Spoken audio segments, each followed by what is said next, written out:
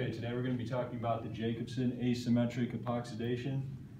Uh, we're going to take a look at this right here. You're going to need a compound and a cis conformation here, R large, RS, R large pointing to the northwest, Wyoming. And we've got um, a bleaching agent here in Jacobsen's catalyst, which I'll show you in a sec.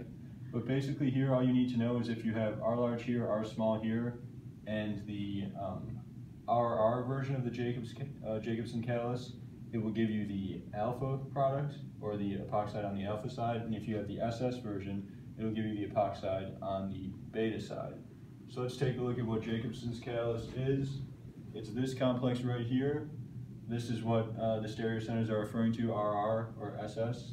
Um, and in order to make uh, the epoxide, you first need to add this bleaching agent here to add this oxygen right here and you'll notice that there are um, some steric, uh, there's steric hindrance here, which makes uh, the only way for the, um, the cis product to approach from this angle right here, which is why you make the epoxide from here.